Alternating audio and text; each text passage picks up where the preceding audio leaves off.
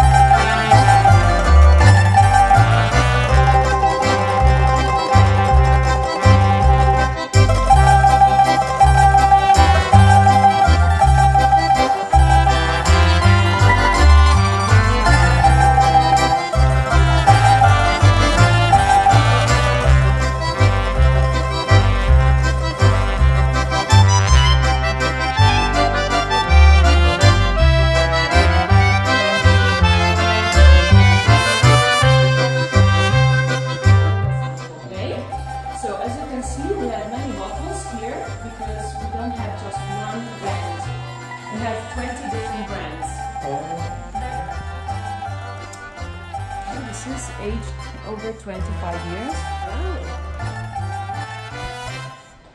Very. Oh, very tense. Okay, smell first and then just drop a little bit need. Oh, so they even have a recipe. Yeah, yes. That's one. So if you have guests at your house, you can use this one and show them how to drink it. Okay, so we can show off. Exactly.